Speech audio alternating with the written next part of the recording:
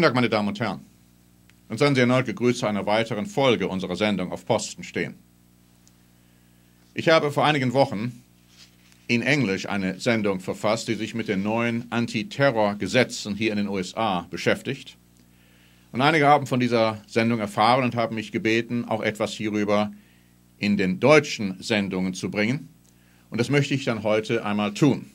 Sie haben vielleicht von diesen neuen Antiterrorgesetzen gehört, die Präsident Obama jetzt unterschrieben hat. Und wenn nicht, möchte ich Ihnen kurz zunächst einmal etwas hierüber sagen.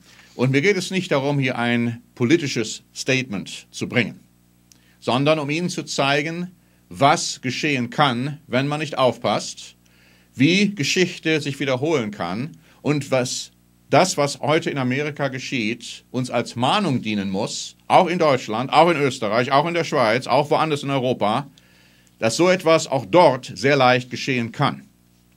Ich möchte zunächst einmal aus einem Artikel vorlesen, den der Spiegel verfasst hat, und zwar am 4. Januar 2012 mit dem Titel Obamas Antiterrorgesetz empört Bürgerrechtler. US-Präsident Obama wollte Guantanamo schließen und ist gescheitert. Jetzt unterzeichnete er ein Gesetz, das die Auflösung des Lagers de facto unmöglich macht. Zudem erlaubt die neue Regelung die zeitlich unbeschränkte Festsetzung Terrorverdächtiger. Der Tag dürfte mit Bedacht gewählt worden sein. An Silvester, als er davon ausgehen konnte, dass die meisten Bürger mit anderen Dingen beschäftigt sein würden, unterzeichnete US-Präsident Barack Obama an seinem Urlaubsort auf Hawaii ein hoch umstrittenes Gesetz. Auf der einen Seite gibt der National Defense Authorization Act oder NDAA, NDAA 662 Milliarden US-Dollar für den Militärhaushalt 2012 frei. Auf der anderen Seite schreibt das Gesetz Praktiken und Rechtswege in der Terrorbekämpfung fest, die Bürgerrechtler zutiefst empören und Obama wie jemanden aussehen lassen, der seine eigenen Versprechen bricht. Obama, der antrat, das Gefangenenlager Guantanamo zu schließen und mit den martialischen Antiterrormethoden der Vorgängerregierung von George Bush zu brechen, hat mit der Unterschrift dem Druck des US-Kongresses nachgegeben. Nun, das ist nicht unbedingt richtig. Er hat selbst das zunächst einmal provoziert, wie uns andere Fakten das zeigen. Aber wie auch immer, typisch der Spiegel, es fährt hier wie folgt fort, dieses Magazin. Lange hatte er ein Veto angekündigt, dann aber, nachdem die Abgeordneten ihm in einigen Punkten entgegengekommen waren, seine Bereitschaft zur Ausfertigung des Gesetzes signalisiert. Diese Punkte waren zunächst einmal von Obama hineingepresst worden in den Kongress. Insgesamt umfasst der NDEE e mehrere hundert Seiten, umstritten sind jedoch vor allem zwei Abschnitte die den Antiterrorkampf betreffen. Sie sehen unter anderem vor, dass, und jetzt passen Sie gut auf, dass die US-Regierung Terrorverdächtige ohne Gerichtsverfahren festsetzen kann, Nicht-US-Bürger, die mutmaßliche Qaida-Kader sind, in Militärgewahrsam genommen werden sollen, das US-Militär im Ausland Gefangenenlager errichten darf, das US-Militär Terrorverdächtige innerhalb oder außerhalb der USA festnehmen, verhören und ohne zeitliche Beschränkung festhalten kann. Und wie wir alle wissen, wenn das Militär eine solche Macht erhält, wird diese Macht missbraucht werden. Wir haben das in Hitlerdeutschland erlebt, wir haben das unter Mussolini erlebt, wir haben das unter Stalin erlebt, wir haben das in vielen anderen Ländern erlebt. Und jetzt wird Folgendes gesagt in diesem Artikel. Schon Mitte Dezember hatte das Weiße Haus angekündigt, dass es von seinem Vetorecht keinen Gebrauch machen würde. Seitdem waren Menschenrechtsorganisationen alarmiert. Jetzt rufen sie zum aktiven Widerstand auf. Amnesty International sammelt Unterschriften gegen das Gesetz. Human Rights Watch erklärte, Obama werde in die Geschichte eingehen als der US-Präsident, der zeitlich unbeschränkte Festsetzungen ohne Prozess im US-Recht verankert hat. Auch die American Civil Liberties Union hat eine Petition angesetzt. Obama selbst ist ausdrücklich unzufrieden mit dem Gesetz. Das hat er gesagt. Ich unterzeichne das, ich bin aber nicht sehr zufrieden damit. Bei der Unterzeichnung erklärte er, er habe ernsthafte Vorbehalte. Er versprach, dass seine Regierung das Gesetz so auslegen werde, dass keine US-Bürger zeitlich unbefristet festgesetzt werden dürfen. Eine Intention, die rechtlich gesehen absolut keinerlei Bedeutung hat. Die kann heute gesagt werden, die kann morgen widerrufen werden. Und wie sieht es mit den Nachfolgern aus, die so an eine solche Intention ohnehin nicht gebunden sind? Der Artikel fährt fort zu schreiben. Bereits Mitte Dezember hatte die New York Times Obama für seine absehbare Entscheidung scharf attackiert. Das Gesetz kenne künftigen US-Präsidenten die Autorität geben, US-Bürger lebenslang ohne Prozess oder Anklage ins Gefängnis zu stecken. Und das kann natürlich auch der Fall sein für den jetzigen US-Präsidenten. Denn wie gesagt, diese Intention bedeutet absolut nichts.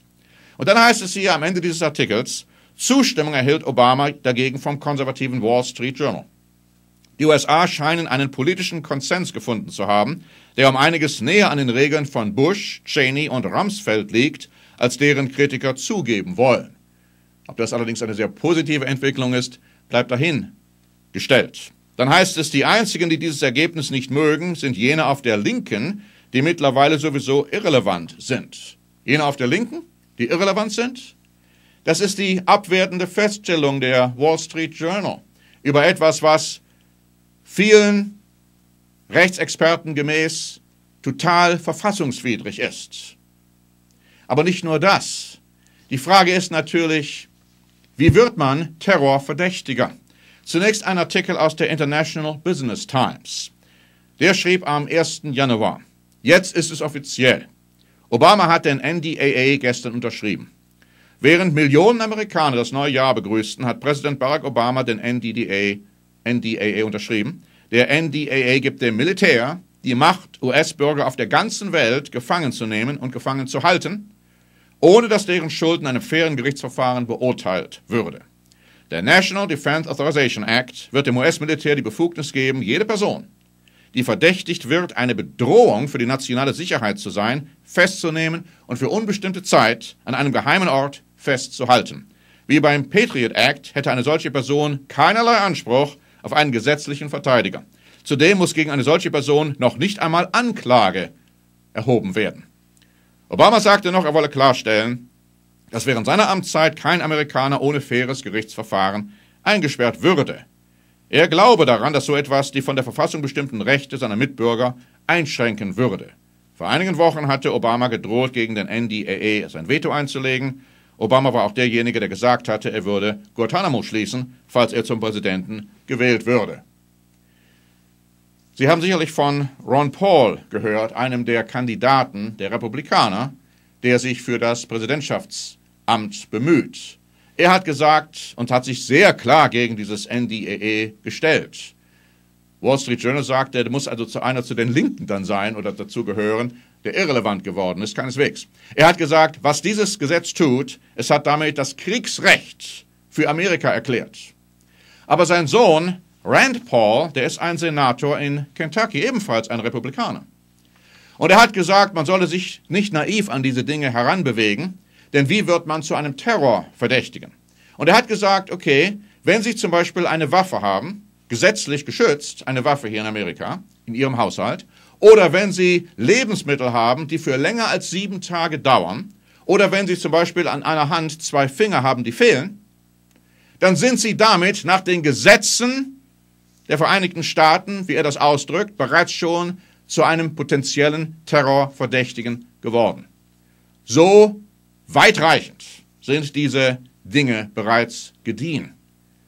Wir sollten uns klar vorstellen, was alles dies bedeuten kann. Und wir sollten daran denken, was in Deutschland geschehen ist, wie ich sagte, im Zweiten Weltkrieg. Hitler war ja auch legitim gewählt worden, zunächst einmal. Und dann kam seine Gestapo und seine anderen militärischen Organisationen und haben dann einen Terror veranstaltet, der eigentlich seinesgleichen sucht in Deutschland. Aber wir, wir sollten nicht glauben, dass so etwas nicht wieder auch in Deutschland geschehen kann. Das sind Warnungen, die uns andeuten, wie weit sich der Mensch von Gott und seinem Gesetz entfernt hat. Und dann wundern wir uns, warum wir eine Misere erleben, die, wie Christus sagt, so schlimm sein wird, dass wenn er nicht zurückkommen würde, um diesen Wahnsinn, auch der Politiker, die uns ins Abseits hinein stürzen, wenn er diesen Wahnsinn nicht beenden würde, kein Mensch würde am Leben bleiben. Das sind die Zeiten, meine Damen und Herren, in denen wir leben. So wachen Sie bitte auf und lassen Sie sich nicht von dem in irgendeiner Form beeinflussen, was uns menschliche Führer, Leiter, wo immer sie auch sein mögen, aus der politischen Bühne heraus erklären wollen.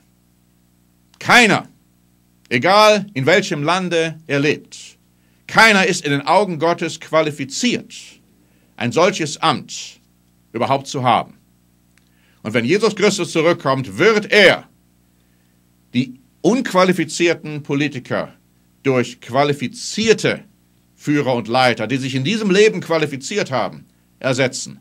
Das ist die Wiederherstellung des Reiches Gottes hier auf Erden, auf das wir warten. Und Christus sagt uns ja zu beten zu dem Vater, dein Reich komme. Es möge bald kommen. Ich bedanke mich für Ihre Aufmerksamkeit. Ihr Norbert Link für eine Sendung auf Posten stehen.